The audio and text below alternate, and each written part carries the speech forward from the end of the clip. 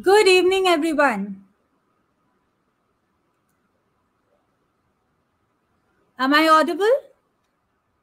Can you please confirm?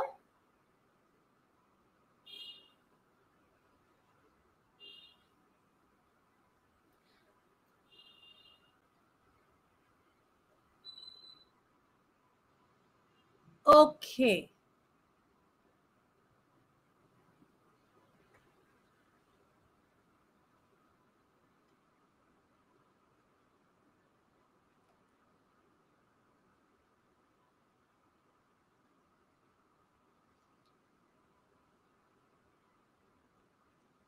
So, today is day seven of CUET PG Prarambh series. And today we are going to learn a very interesting topic, a topic that is in use in everyday life, not directly, but indirectly. Are you thinking how it is, you know, related to us indirectly? As you can see here, the topic for today's lecture is animal and plant cell culture right? So obviously in day to day life we don't do these cell cultures ourselves. So we are not directly connected but how indirectly? Any idea? Anyone we are very dependent upon these technology Any idea? Let's see.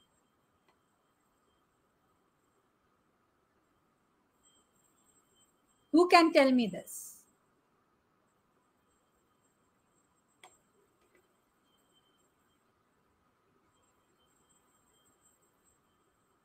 Who can tell me this? Any idea how we are indirectly highly dependent upon this animal and plant cell culture.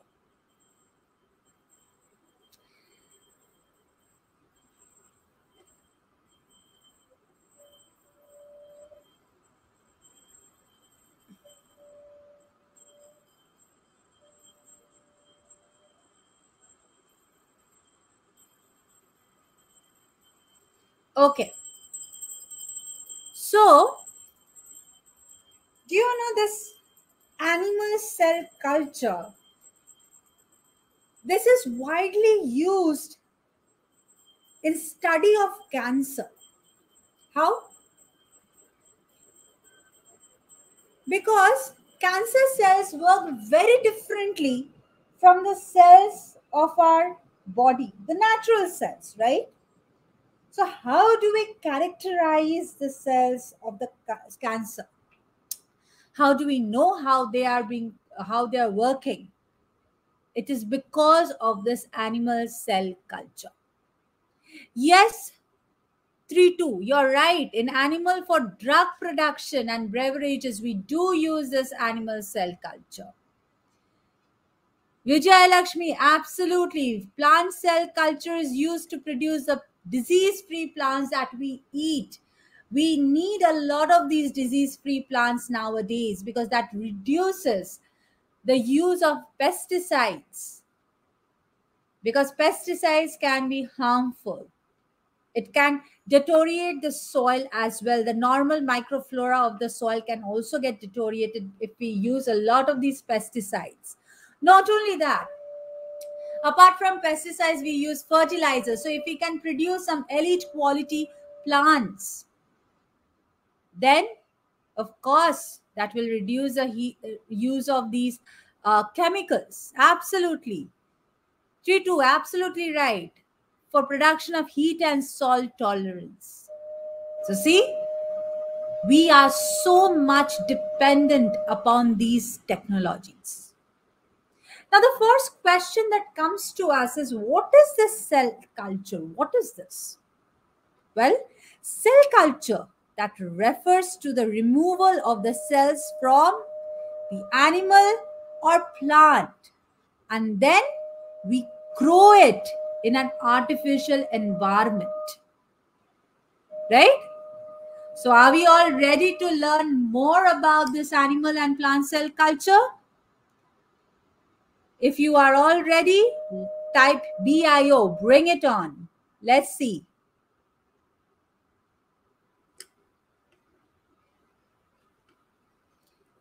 How many of you are all set to learn more about this? Oh, yeah, that's great. So my name is Shomrita and I'm going to discuss the important features of this animal and plant cell culture. And also I will be discussing some previous year's questions. Okay, just to give you an idea about what kind of questions you might expect. Actually, you see these questions that comes, you will find that they are very direct. If you know the concept, it will be clear to you. So we will be focusing on the concepts, right? So first and foremost, when we are going to discuss about the animal cell culture. So as the name suggests, this involves the extraction of the cell from the tissues or from the organs. Either we can take the tissue, we can take the tissue or we can take the organ extracts. Okay. And then we can study what? Study the cell growth. We can study differentiation. We can study the ident we, we can actually identify the growth factors which are very important because many diseases they actually are centered around the malfunctioning of these growth factors. And we can also understand the mechanisms which are underlining the normal uh, cell function. Okay? Various kinds of function that the cell perform. So all of these studies we can do by removing the tissue from the animal. Now, obviously, there are different ways by which we can remove the tissue. We will discuss that in the next few slides. Now, just for your information, can, okay, let me ask you, do you know exactly when this cell culture was established? Or can you tell me an approximate year if not the exact year, at least an approximate close to it. When was the first human embryonic stem culture done? Any idea? Human embryonic stem culture, because this is the first milestone that happened in this area. It's not far behind, you know. This is 2020 20, right? This is the year 2020. And the first breakthrough, the first milestone came in 1998. Not far behind. 1998, when Thomson and Gearhart, they were the one who isolated the and cultured the human embryonic stem cell and after that, many other milestones came up. Okay, there was uh, tissue engineering and clone uh, human baby productions. All of these happened after this successful culture. So, what is tissue culture? This is in vitro maintenance and propagation of isolated cells, tissues, or organs in appropriate artificial environment. Now, see one thing. When our cells or the tissues are inside our body, it is getting some nutrition from the body itself, right? When I'm taking it out and I'm culturing outside in that artificial environment, or what we can call it as in vitro culture, right? Outside the normal condition in vitro culture. we need to provide that environment that temperature that ph that nutritions. Everything is required isn't it? So one of the main feature about this tissue culture that we need to keep in mind is definitely the growth media. Now what are the things that goes into this media composition?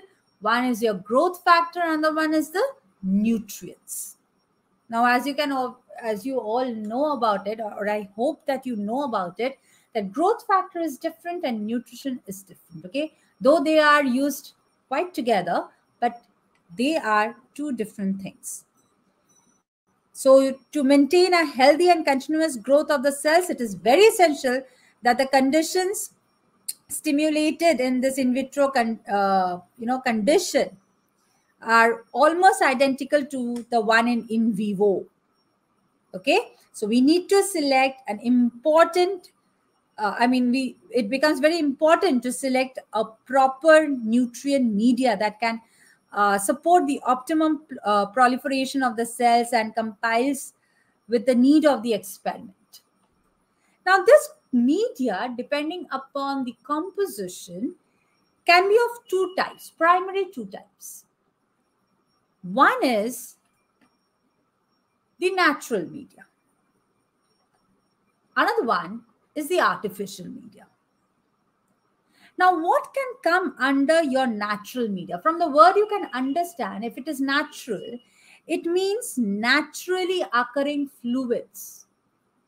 Those are placed in this media, okay? The naturally occurring fluids.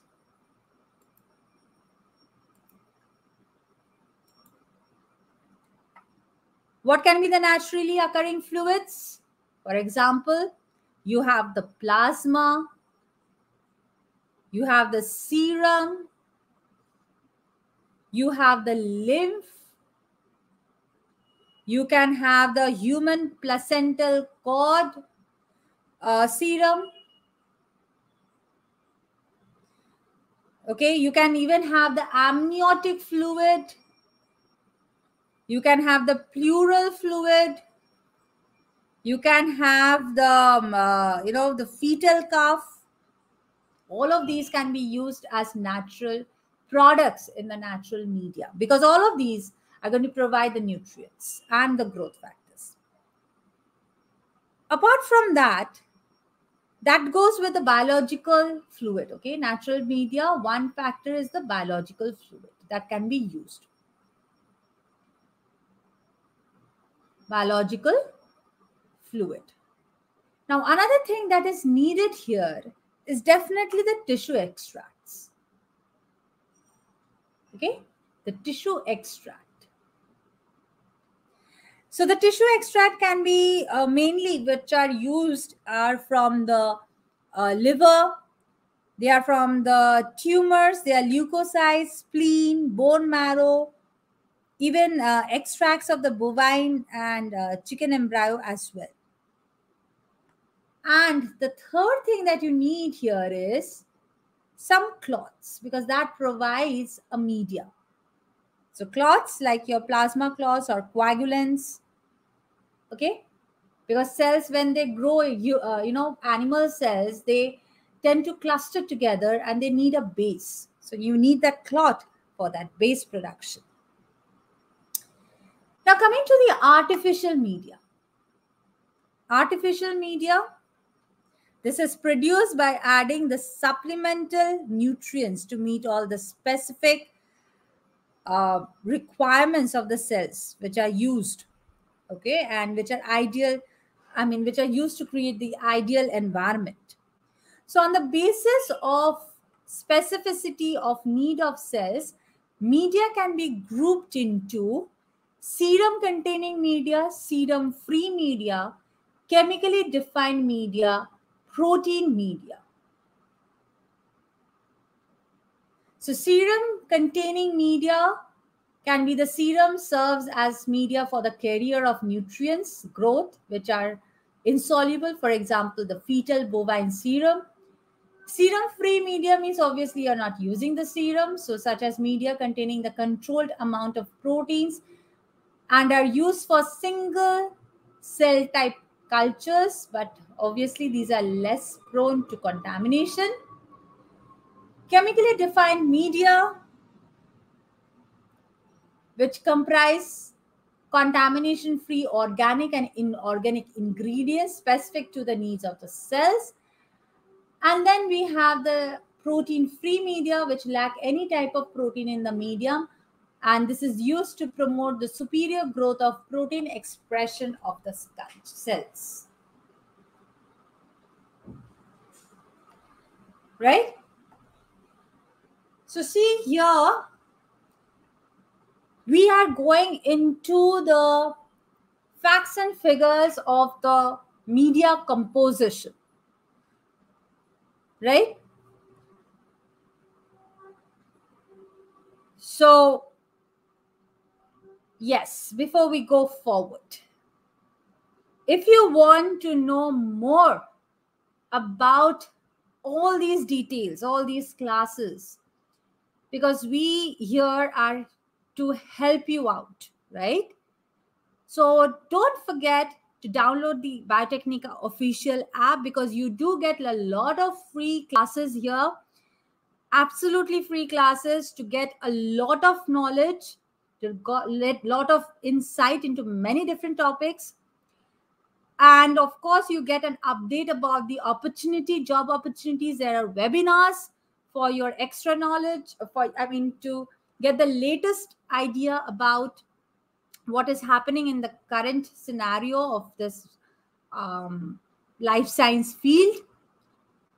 So don't forget to download the official app if you have not downloaded yet and definitely log in to the Biotecnika Telegram group for more assistance.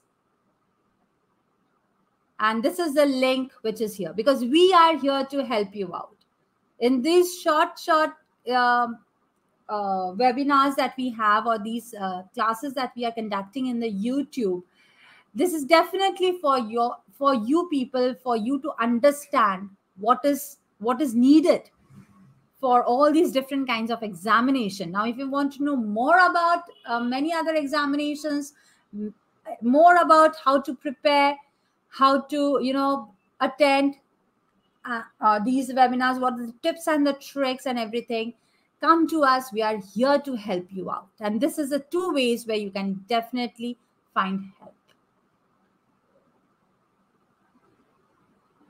So, the next question that comes to the mind How are cell cultures obtained? How are cell cultures obtained? So there are three ways, commonly used uh, ways to culture to obtain these uh, initiate the cell culture. One is the organic organ culture. The next one is the primary explant culture. And the third is the cell culture. Now, organ culture. What is organ culture? Anyone?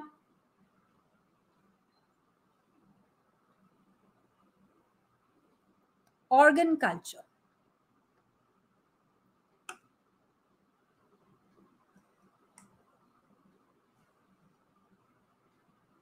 See, uh, here from the word you can understand, we are either taking the whole organ from the embryo. Remember, it is from the embryo that we have to take.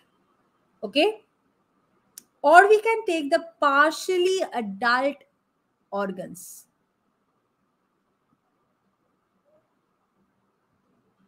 Partially adult organs. okay for our culture we can't take any other thing. So these cells uh, in the organ culture they are maintained in the differentiated character. Now uh, this word the new word differentiated.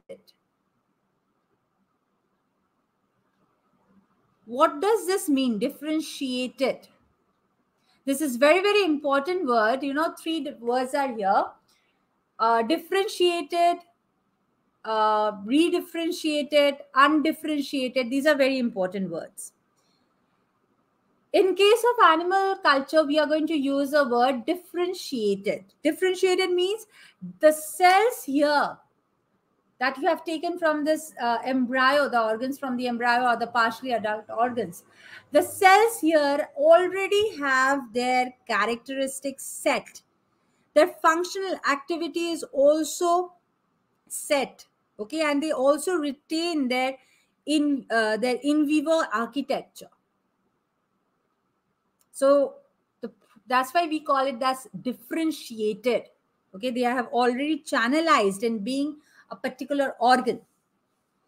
So one problem using this is that they don't grow rapidly and the cell proliferation is very limited to the periphery of the explant because uh, these cultures cannot be propagated for very long time. And uh, a fresh uh, you know uh, subculture is required to maintain these cultures. But even after such uh, you know uh, demerits these cultures are very used. These are used in the production of hormones. These are used to examine the effects of drugs. And uh, you know there are many other uh, use of it. The main two is the production of hormones and the effect of drugs next we have the primary explant cultures so primary explant cultures means it is going to use fragments of the excised animal tissue which can be maintained in different uh, ways now here what happens is the tissue, it adheres to the surface by the extracellular matrix, like your collagen and the plasma clot. And uh, this actually gives rise to the cells migrating from the periphery of the explant. So this culture is known as your primary explant culture and uh, this migration that happens they are known as your outgrowths. Okay, so from if, if you take this as a culture, as a tissue, the migration uh, happens outward. So these are known as your outgrowths. All right. Now, mainly what is the use of these cultures? If you uh, understand, if you want to know what is the use of this culture, mainly it is used to study the cancerous cells. Now, can you tell me, can someone tell me quickly why it is used specifically to study the cancer cells? Cancerous cells. Any idea? I've already given you a point. If you have uh, listened carefully, I've given you a hint already. The characteristic of this uh, primary explant culture, that is the answer. Now, who can tell me what was the characteristic. If some of you have missed it, stay till the end. You will be provided with a link where you can download the uh, study notes. Okay? So stay till the end. Just download the study note. But for the timing, who has paid attention? Who can tell me? Yes, cell fragmentation. Cell fragments, is that? Shramalina. I hope I have uh, pronounced your name correctly. Right now, what did I say here? You have the tissue and there is outgrowth, right? And the cells here adheres to your extracellular matrix does cancerous cells adheres to your excess uh, uh, adheres is there any property of adherence for cancer cells no so that is why you can easily study the cancerous cells if you if, if you go for this primary explant cal, uh, culture. It helps you to analyze the characteristic of the cancerous cells more. Okay? Fine. Now going to the cell cultures. Now, cell culture. This is the most commonly used method of the tissue culture, and it, it and it is uh, generated by collecting the cells growing out of the explant or dispersed in the cell suspensions. What is a cell suspension?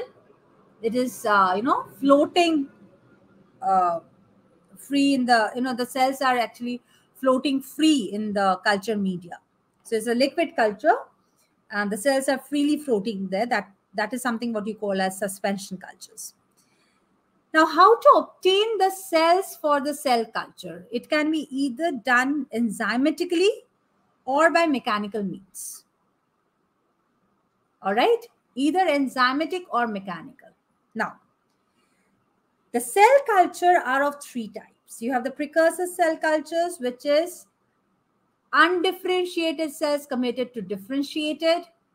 You have the differentiated cell culture, which is completely differentiated cells that have lost the capacity to further differentiate. That means you just cannot revert it back. And there is a stem cell culture, which is undifferentiated. That means the programming has not been established. You can program the cells to be of a particular kind. So if you want the cells to become a liver cells, it will become a liver cells. If you want it to become a kidney cells, it will become a kidney cell. So these are undifferentiated cells, okay? So you have the three different types of cell culture. Now, apart from that, you do have this monolayer cultures as well monolayer. This is anchorage dependent culture of usually one cell. Mind it. See, I've already used the word mono, which means one cell. Okay, it is one cell in thickness, which is continuous layer of cells at the bottom of the culture vessel.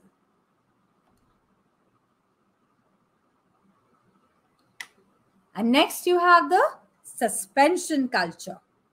So as I've already told you, these are like kept in the fluid, the liquid media. So some of the cells are non-adhesive and they can be mechanically kept in the suspension, unlike most of the cells that grow as monolayers. For example, it can be the leukemia. Okay?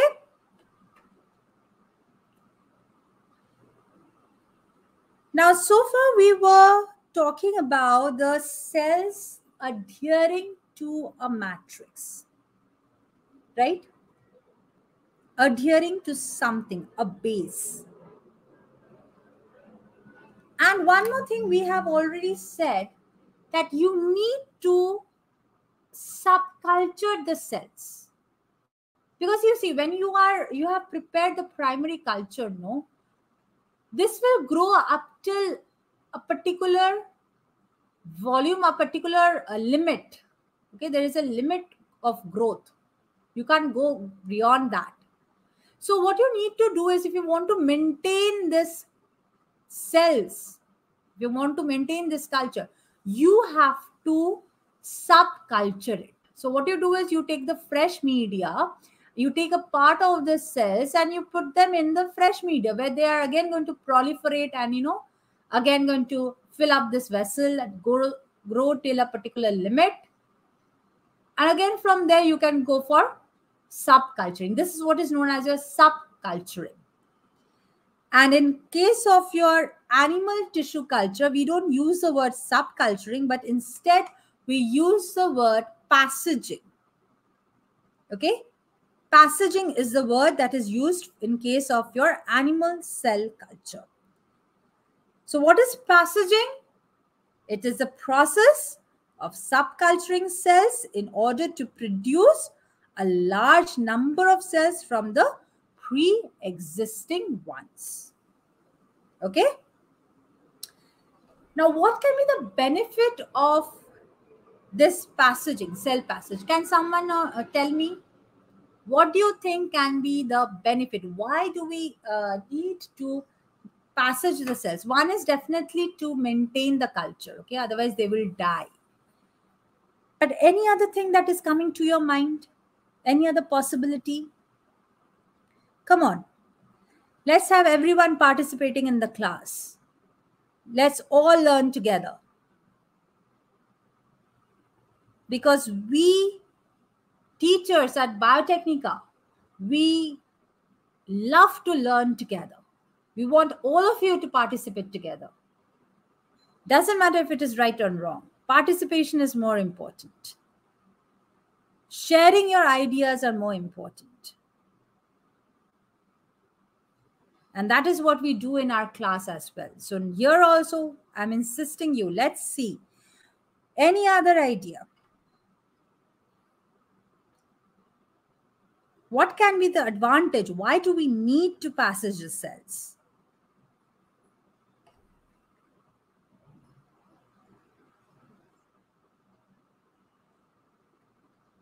Why do we need to passage the cells?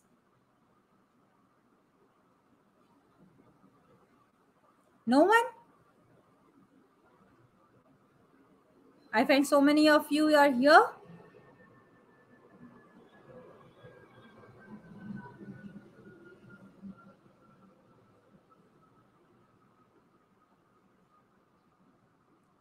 Cell passaging.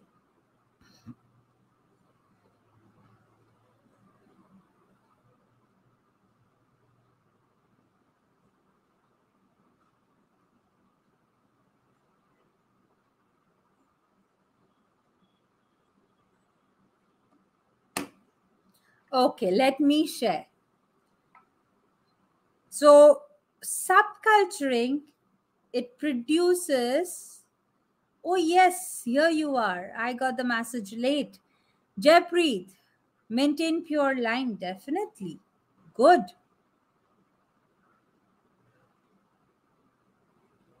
So we can definitely, very good, Jaypreet, actually. So one advantage of cell passaging, it can be to produce a more homogeneous cell line to produce a more homogeneous cell line. Second, to avoid senescence, which is associated with prolonged high cell density.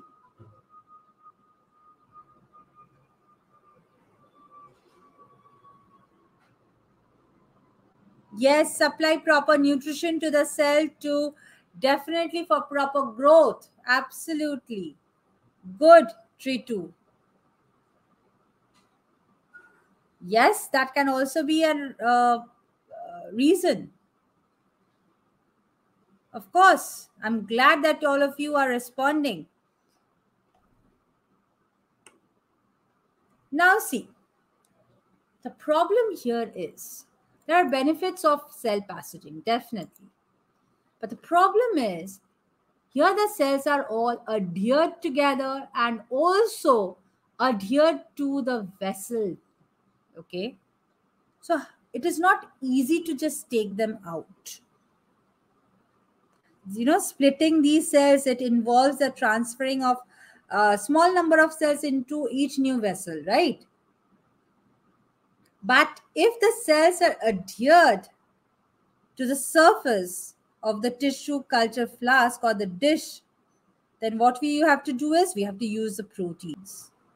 Okay, I mean, we have to use the uh, enzymes which will degrade the proteins because it is adhering with the help of the proteins.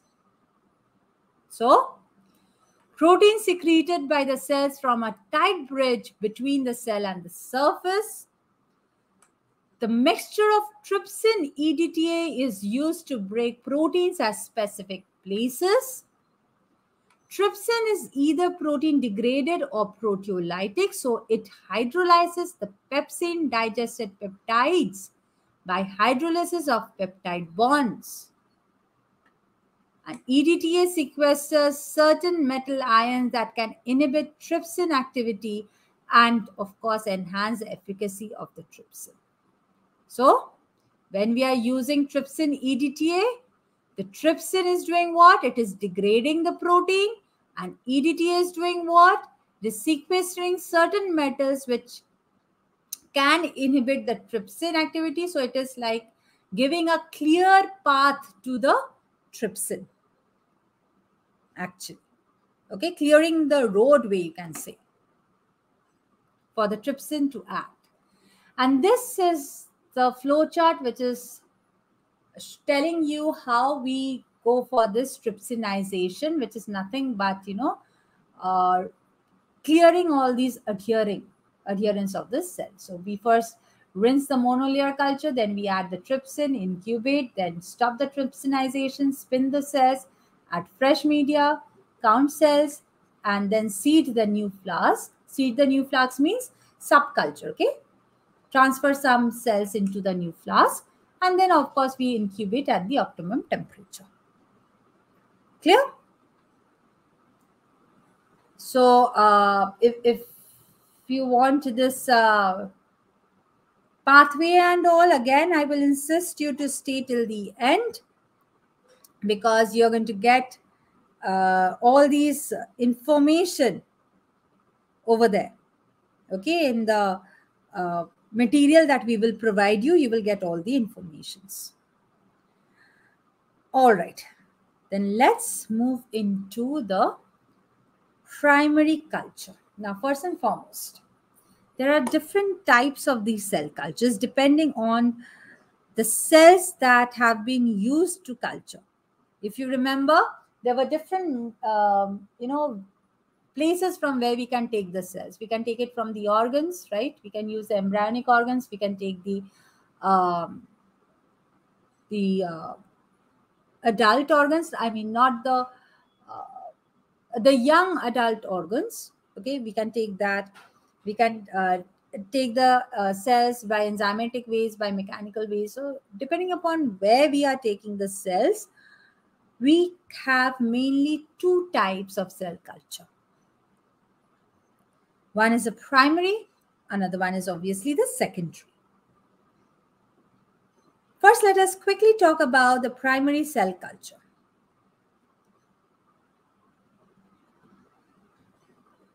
So, primary cell culture, this actually refers to the condition in which the cells are either extracted directly from the organ or the tissue of the organism.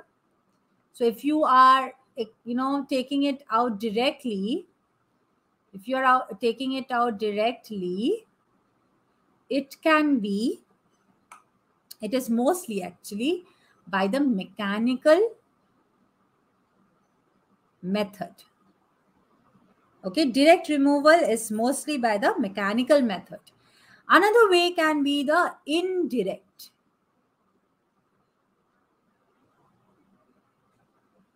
Indirectly. Now, indirectly is mainly the enzymatic method. Okay, enzymatic or you can say the biochemical means. All right. And wherever you take it from, you have to proliferate it under appropriate conditions on the suitable containers. Okay. How long will you proliferate them and in the in vitro condition until they occupy all the available substrate? Now, this state, when they have occupied all the substrate, okay all the available uh, substrate. This state is known as your confluency. This state is known as a confluency okay? So at this stage it becomes indispensable to transfer the cells to a new container with the fresh medium. Again why you need to do that? To enable the continuous growth okay now, what are the features or what is this uh, importance of this primary culture? Primary cultures, they are morphologically like the parent cells, the primary cells actually. The primary cells, they are morphologically like the parent cells. And they are also capable of only limited number of cell divisions after which they enter the non-proliferative stage, which is known as a senescence. And after entering the senescence, they eventually die out. All right. Now,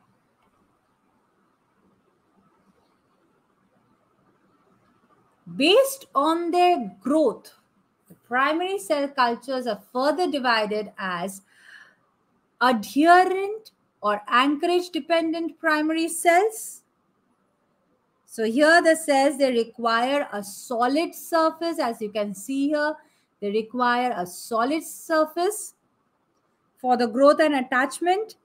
And not only that, they propagate as monolayers. This is very important. They propagate as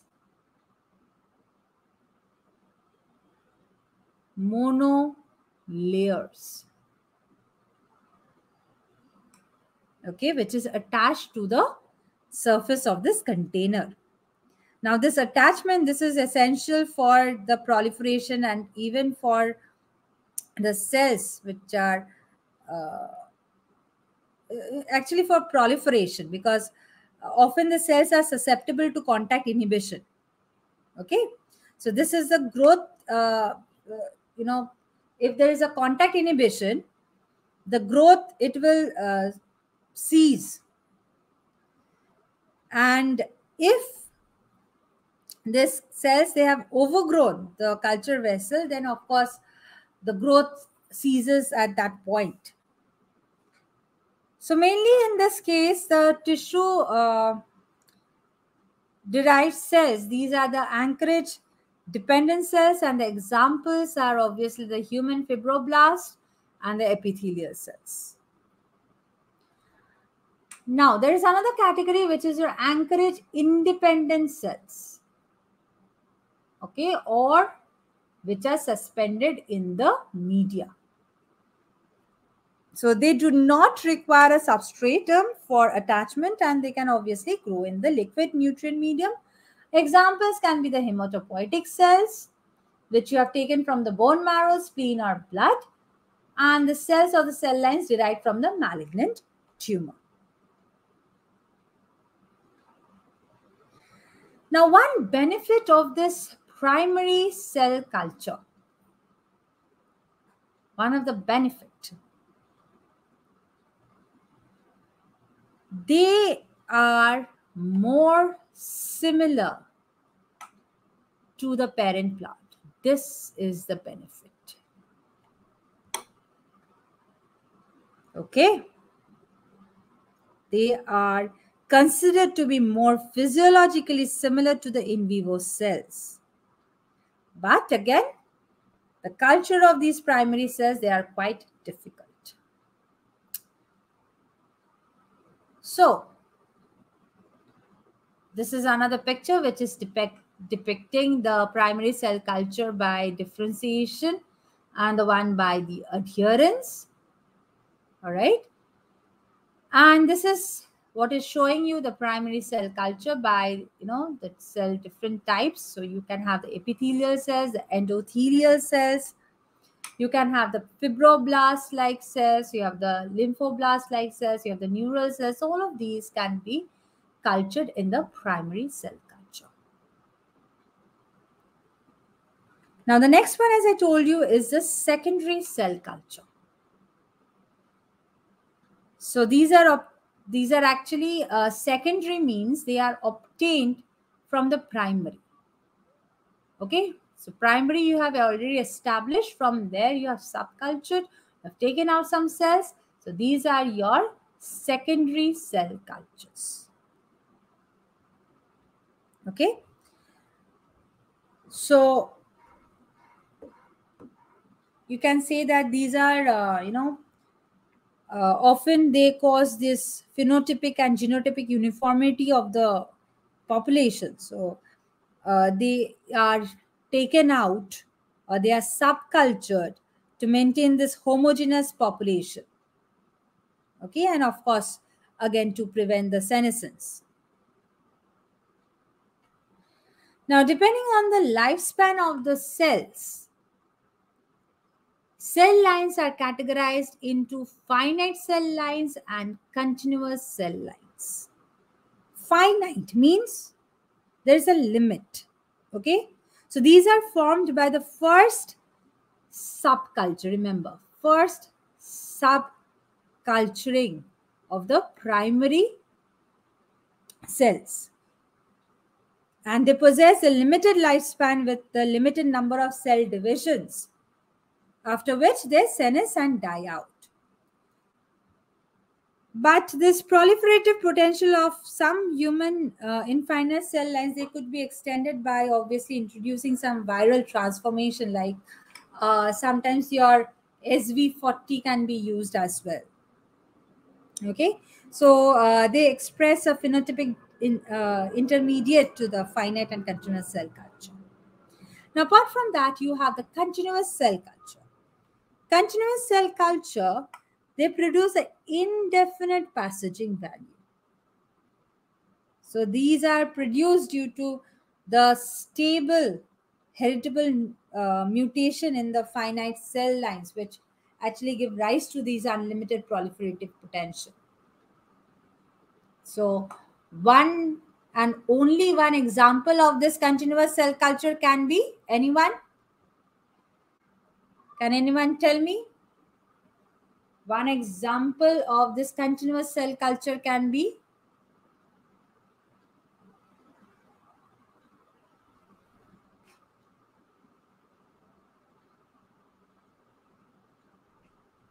Again whoever has paid attention will be able to tell me because all you have to know what is this continuous cell culture and where it is applied.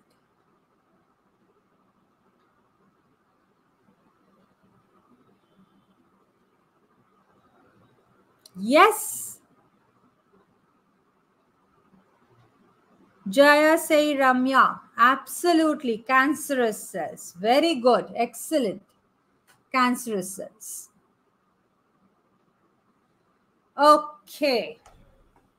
So this is the overview of your animal cell culture. Are we all ready to face some questions? Take up some questions. Are we ready? If you're ready, type BIO. Let's see. Quickly recap what we have done and start typing BIO.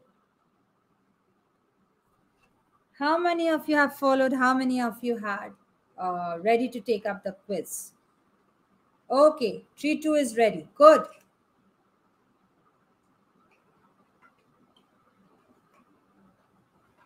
Okay, Jai Shri Ram, Jai Preet, Pratik. Others? Not confident? Not confident yet? Okay. Let me tell you, you get very simple. Aviksha, yep, absolutely. So let's get into the question. The number one question is this. So which one of the following is the most appropriately describes the term cell line?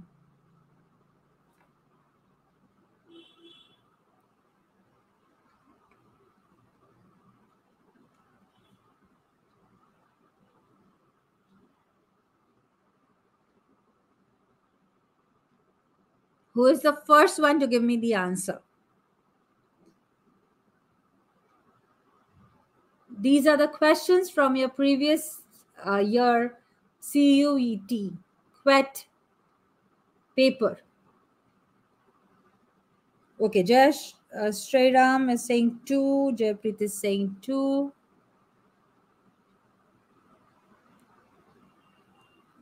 Okay, so I have many answers which are telling me 2.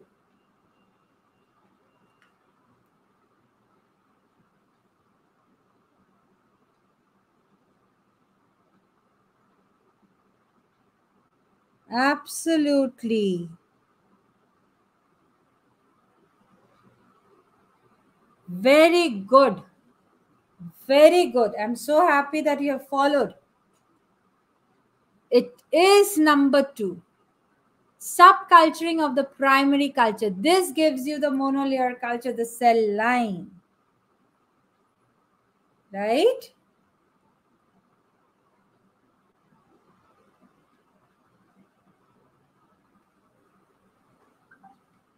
Good, very good. Now, the second question. Maximum application of animal cell culture technology is for insulin, interferons, edible proteins, vaccines. For all of these, you use the animal cell culture. But as I told you at the beginning, we are very much dependent upon this uh, these technologies indirectly.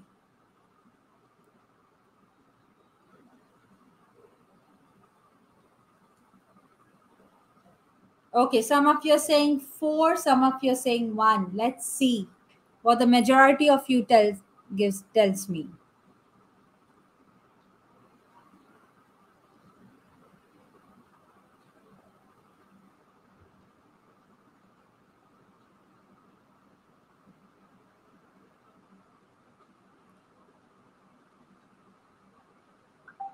Okay. Pratik is giving me two answers. Pratik, any one. You have to choose any one.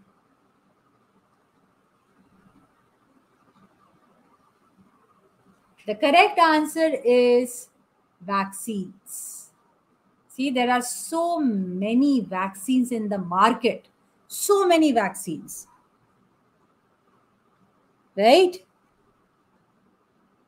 And many of these vaccines, most of these vaccines, we we need to produce the vaccines in mass culture, mass production. We have to have that. Okay, so for that we definitely use these animal cell cultures. So how do you find the questions? Very difficult or easy? These are all from your previous year's question, uh, previous year's paper.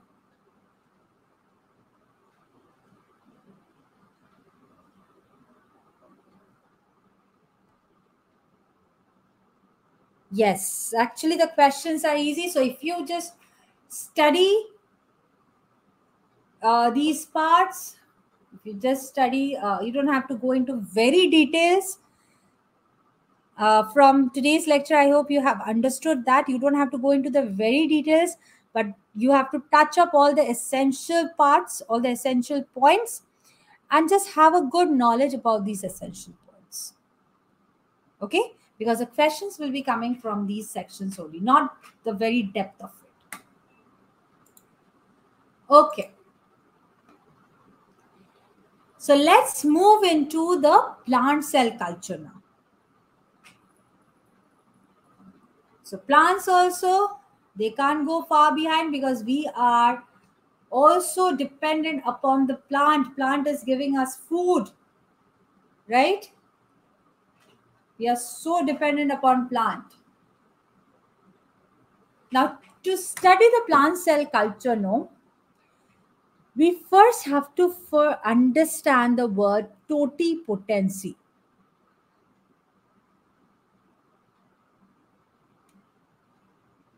Totipotency. Because it is only the plant cells which are totipotent. There are no other cells which are totipotent except the plant cells. What is totipotent? You know, animal cell cultures we were discussing, animal cells, they are pluripotent. Okay? Totipotent. They, these uh, cells, let me, let me write it like this. The meristematic cells The meristematic cells, these are the cells which are similar to your stem cells, which are constantly growing. Exactly. Jaya say, uh, say Ramya. Absolutely right. Pratik, absolutely right. Manisha, yes, right. Very good. Okay, for others. So meristematic cells, the uh, plant meristematic cells, they will give rise to different differentiated tissues.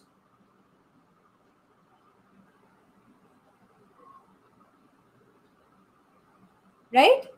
Differentiated means already it has been channelized, it has already got some characters to form something. So maybe it can be a leaf tissue, it can be a root tissue, it can be the stem tissue, something. Okay. The functionality of the tissue has already been programmed here. That is a differentiated cell or the differentiated tissue. You can redifferentiate the cells.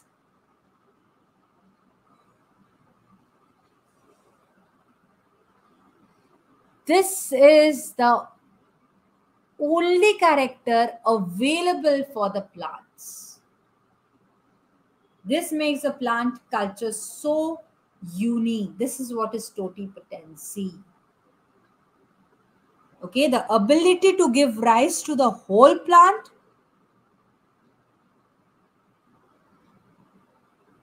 You can develop any part of the plant from any part of the cell.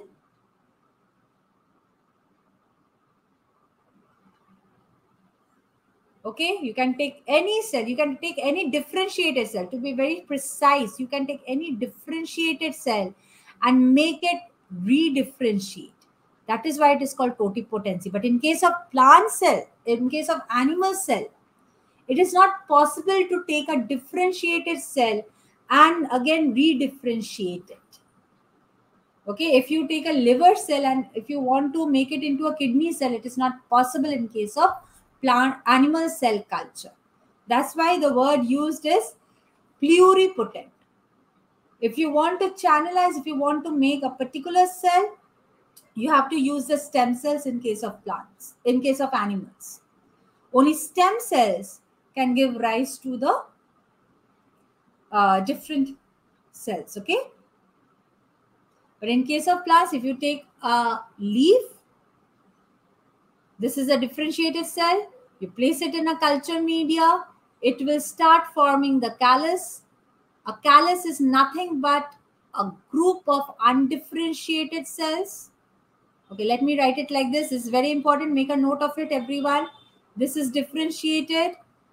This forms a callus which is undifferentiated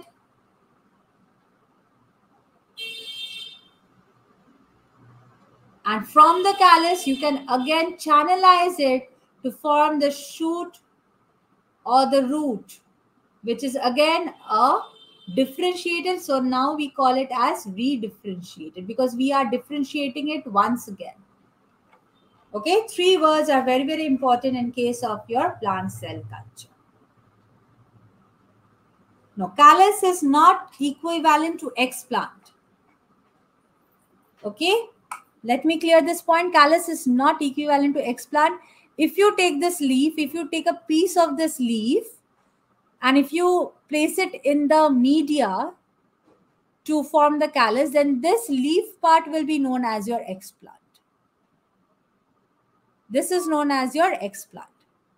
You can take a tip of the shoot in fact okay can someone tell me what was the first uh, material or what was the first thing that was used in this plant cell culture which uh, okay let me tell you it is a vegetable okay that hint i can tell you which is a root actually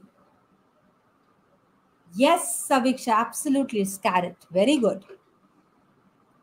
No, no, no. It is carrot. From the carrot, this uh, from the carrot, you take out the cambium part. Okay. This cambium is now known as the explant. This is the explant. This carrot is your explant actually. You place it in the media, you form the callus.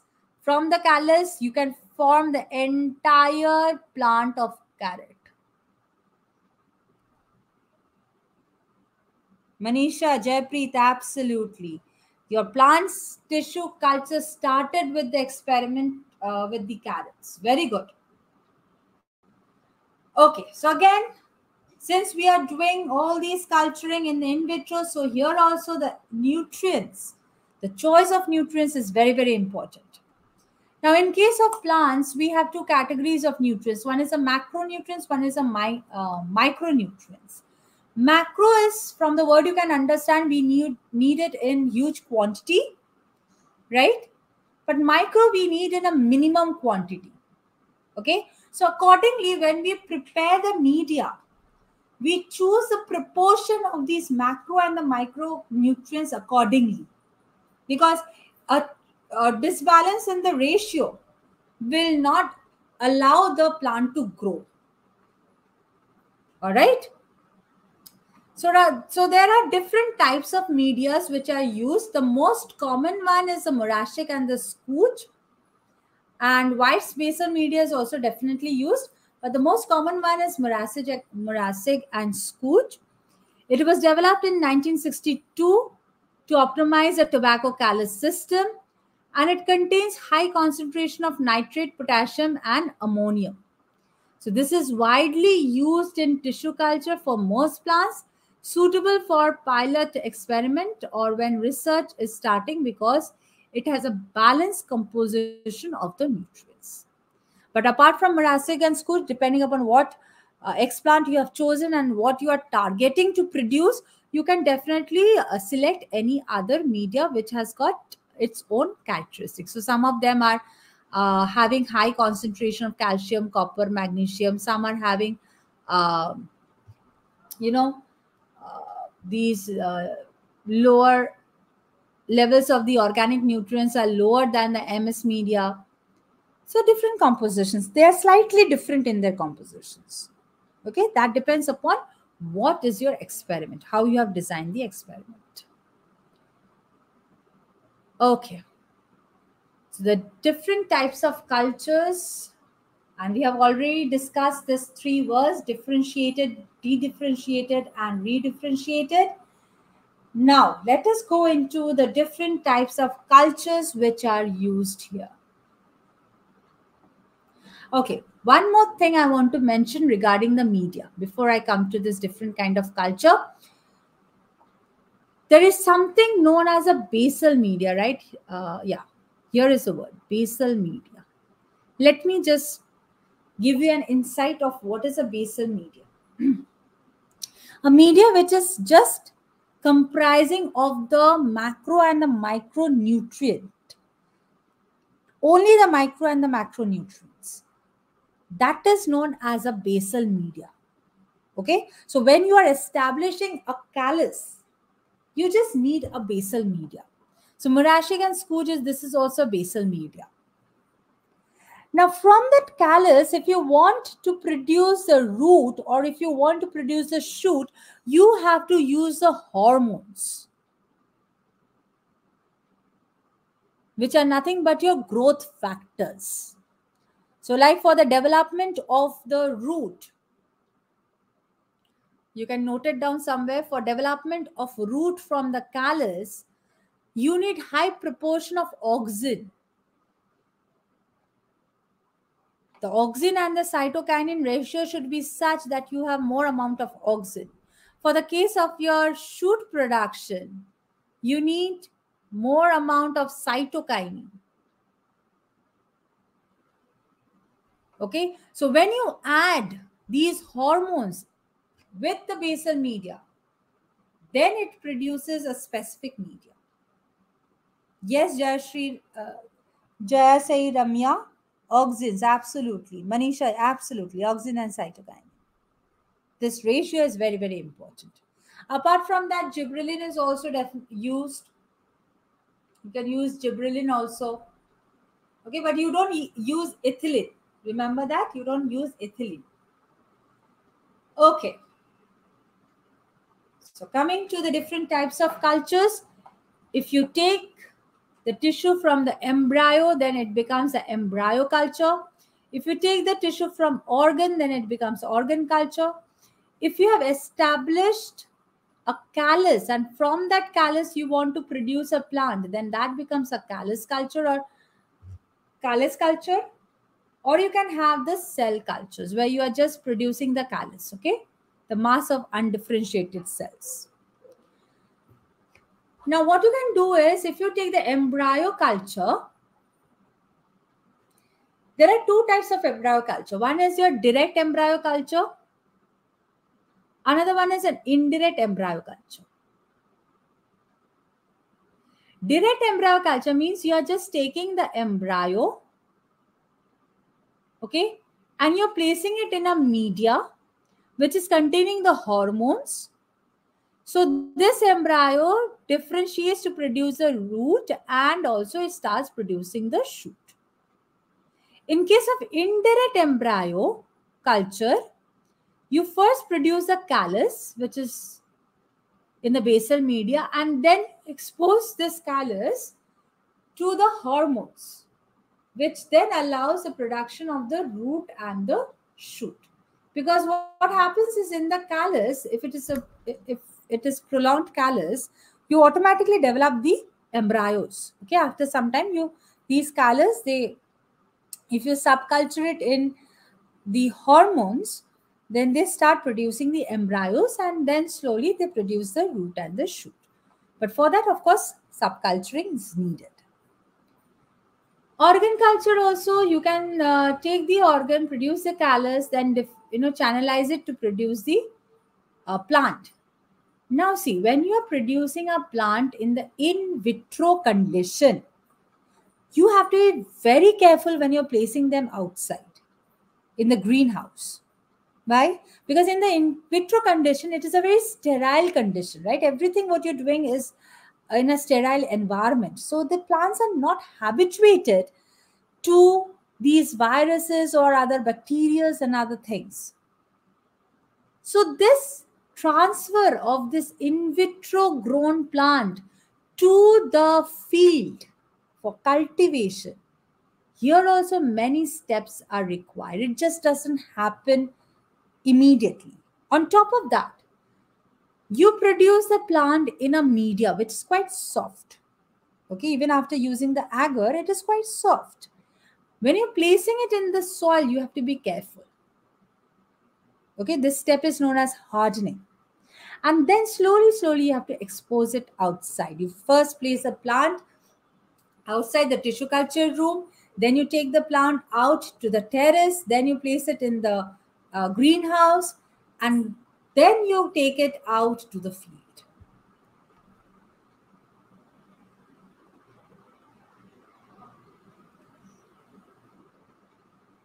Yes, Manisha. For root growth, you need a high auxin, high cytooxin, and for shoot growth, you need high cytokinin. Okay, Manisha? Okay, so callus culture is just establishment of callus, and from there you can produce a plant. And cell culture is you are maintaining the cell. So here a lot of subculture is required. Okay. Subculturing is required to produce uh, this to maintain these cells. Now, why the cell culture is required? This leads to another culture, which is known as a protoplast. Protoplast culture. Protoplast is the material, if, if this is your plant cell, if you remember the structure of the plant cell, you have the cell wall, and inside that, you have the cytoplasm, right, within the cell membrane. So if you leave out the cell wall, what you have inside the cell membrane, that is what is known as a protoplast. So either you can extract the protoplast directly out of the cell, any normal cell, or you can take the protoplast from the, you know, uh, this callus. And protoplast culture has got a lot of use actually. There are many application of protoplast culture because these are, uh, you know, mainly used for hybridization purposes. for your uh, engineering, genetic engineering purposes. Yes, uh, treat absolutely. Cell without the cell wall is that protoplasm. So the cell culture helps in the protoplasm culture as well. Mainly all of these are somewhat connected, but uh, the naming is based on where from where you have taken the tissue. Now, one important feature of this uh, plant cell culture, you not only uh, produce or not only go for the plant cell culture for producing the disease free, free plant or the hybrid plants, the plants with the desired characteristic or something.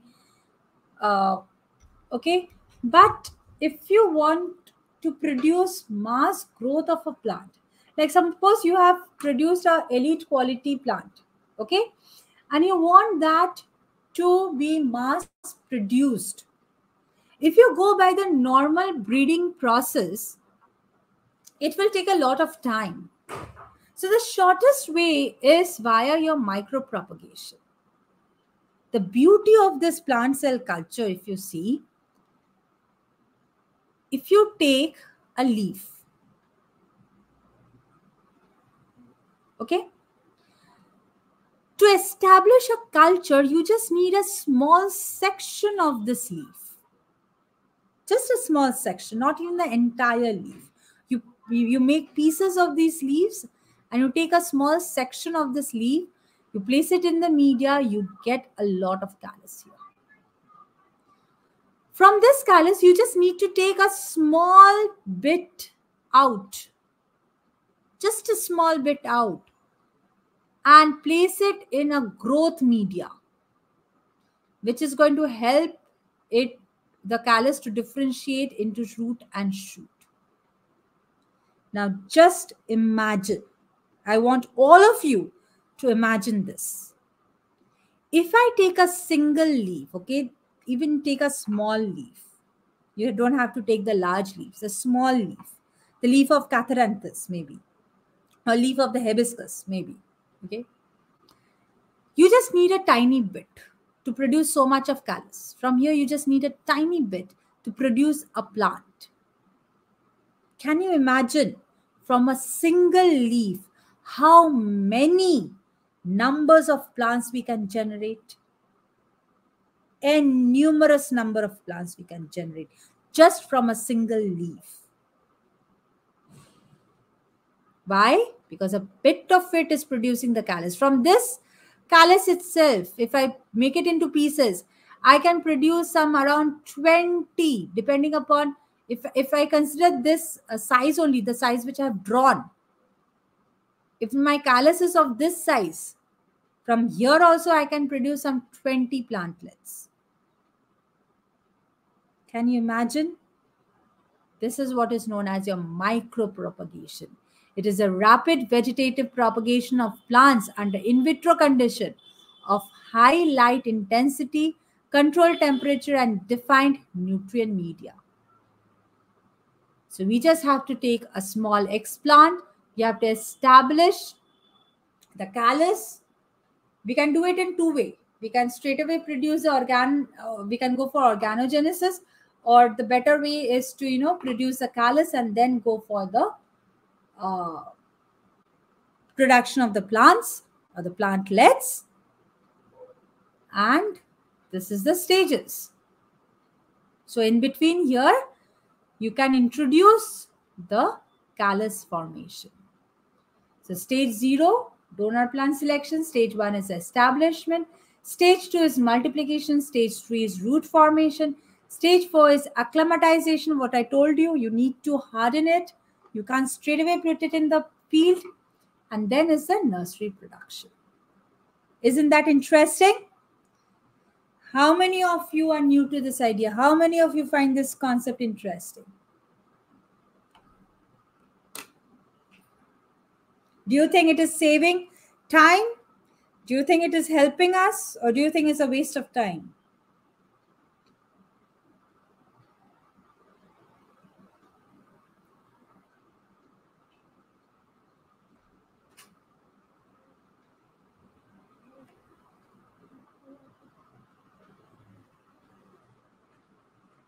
What do you think? Let me know.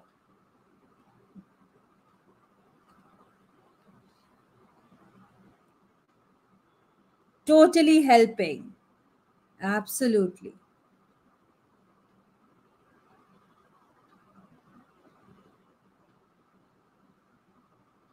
So others also, I believe you feel that.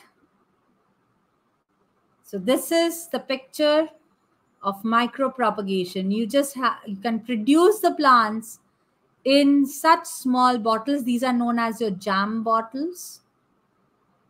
Okay, not the jam that you eat. All right, don't confuse it with the uh, mixed fruit jam of Kissan. This is the jam bottles. And this is the plants which have been produced. As you can see if you look at this bottle you will see the roots clearly visible here.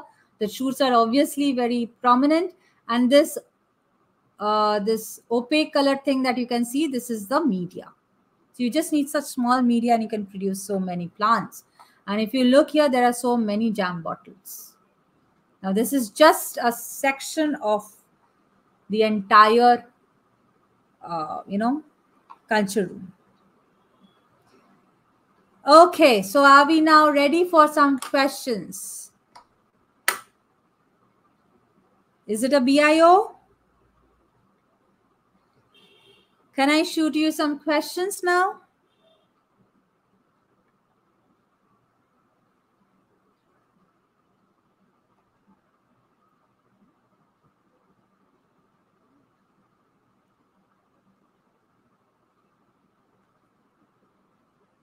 Okay. So your first question. Secondary metabolites. Yes, plants, uh, tissue cultures are also used to produce the secondary metabolites.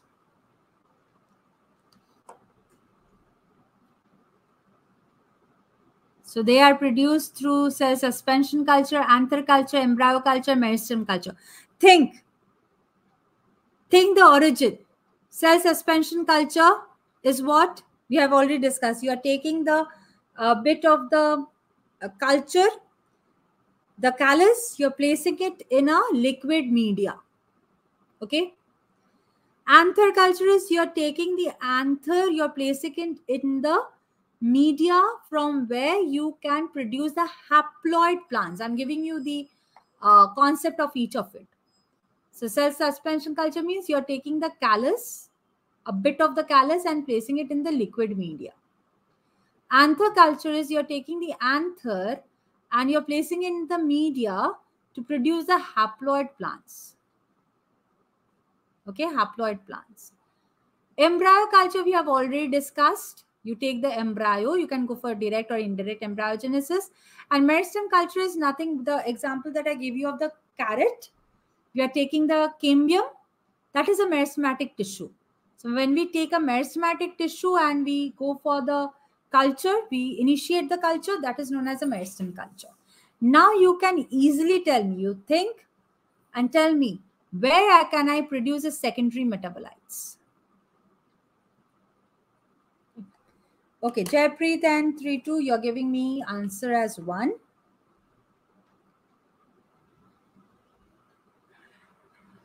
Jay Shri Ramya, okay, 1.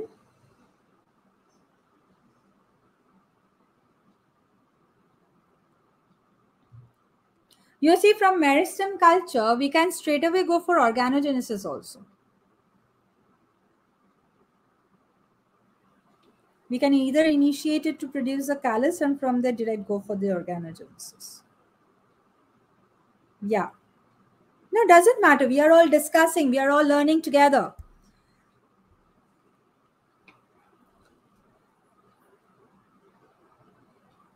As I keep on saying, it's not necessary that you have to give the correct answer.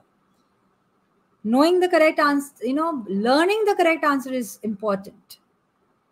Participating in the question answer is important.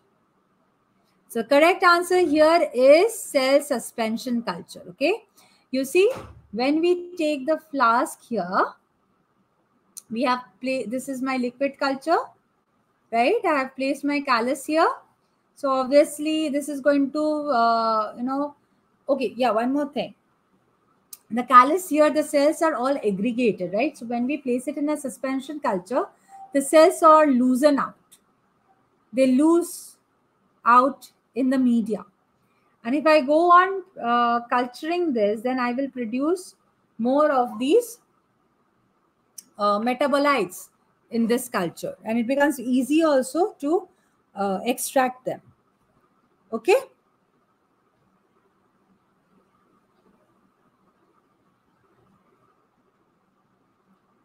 Now, the next question. In the media, to solidify the media, we use agar.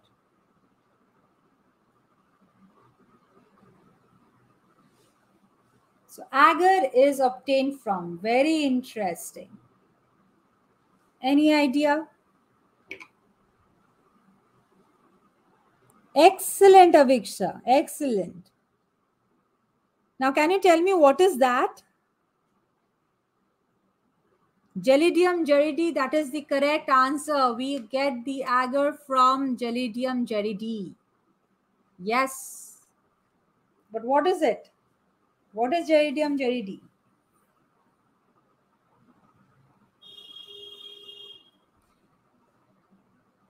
Kailash, yes. Right, it is the red algae.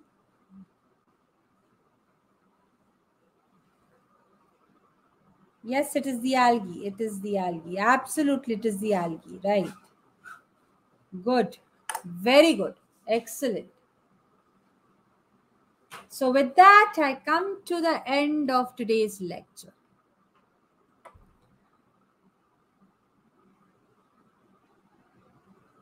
So, this is all that I had to discuss about your uh, animal and plant tissue culture. So you already have got the link to download the uh, notes. Go through the notes, read it properly, and prepare yourself for the exam. I'm sure by the time by this time you have got the idea of what to study, what not to study, how to study, what are the things to focus on. Yes, I I'm sure this was helpful to all of you. So thank you and all the best.